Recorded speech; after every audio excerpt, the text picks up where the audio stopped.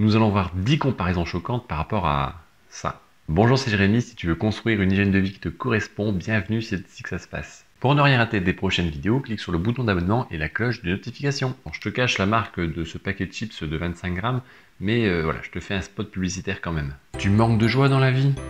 Retrouve tes chips au goût exceptionnel pour tes soirées entre amis.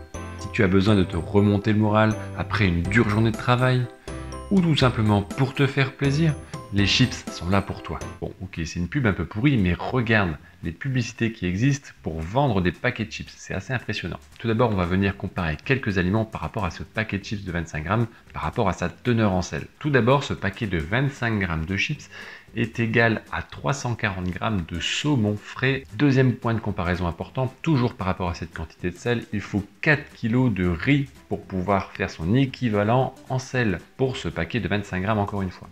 4 kg de riz cru, hein. ça fait 12 kg de riz cuit à peu près. Alors là, je suis désolé, j'ai bien du riz, mais, mais pas 4 kg. Pour comparer ça par rapport à un légume, il faudrait plus de 15 kg de tomates fraîches pour avoir cette quantité de sel. Et là, non, effectivement, j'ai toujours pas 15 kg de tomates à te montrer. Par contre, si tu as un enfant de 3 à 4 ans, n'hésite pas, porte-le et ça te donnera une bonne idée. Ce que je veux te montrer par rapport à ces premières comparaisons, c'est que des aliments peuvent avoir beaucoup de goût, comme le poisson ou comme des légumes, et pourtant il n'y a aucune quantité de sel ajoutée dans ces aliments. Pour rappel, nous avons besoin environ de 5 à 6 grammes de sel par jour, et en moyenne, un Français en consomme entre 9 et 10 grammes. Dans ce paquet de chips de 25 grammes, tu as déjà 10% de tes apports en sel pour la journée. Point numéro 2, passons maintenant à la proportion en énergie. Le quatrième point de comparaison, un paquet de chips de 25 grammes est égal à l'équivalent de 2 pommes.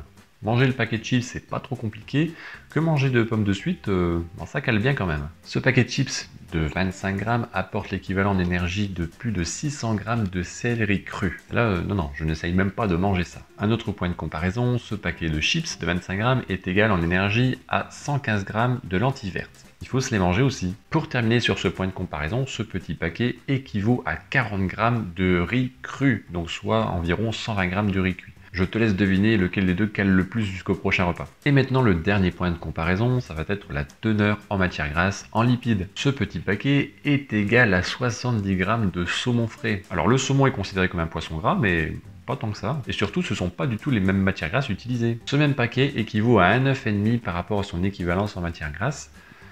tout ça, ça commence à me donner faim. Hein. Et c'est pareil, dans ce petit paquet, il y a une équivalence de 1 cuillère à soupe d'huile. Bon, sinon, toi, tu prends quoi pour l'apéro? Allez, à la tienne, hein ce qui est le plus inquiétant dans notre histoire, c'est que c'est très difficile de manger qu'un seul paquet. Ça se mange très vite et surtout nous avons toujours envie d'en manger plus. De toute façon, on achète principalement des grands paquets, donc euh, on sait même pas quelle quantité on consomme.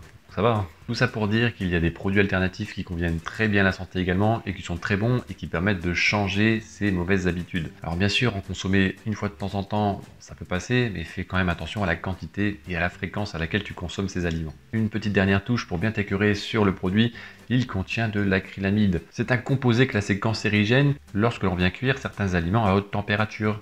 Ça donne un aspect brun, noir, parfois des aliments qui sont riches en amidon, comme, la pomme de terre par exemple. Et le deuxième point, c'est que certains paquets, certains fabricants mettent certains additifs alimentaires, dont le glutamate monosodique. Alors c'est un additif alimentaire, un exhausteur de goût, qui vient stimuler l'appétit, donc qui renforce en plus ton addiction en tant que consommateur pour consommer ces produits encore et encore. Bon après, euh, le danger est fortement suspecté, mais ça on n'en parle pas trop.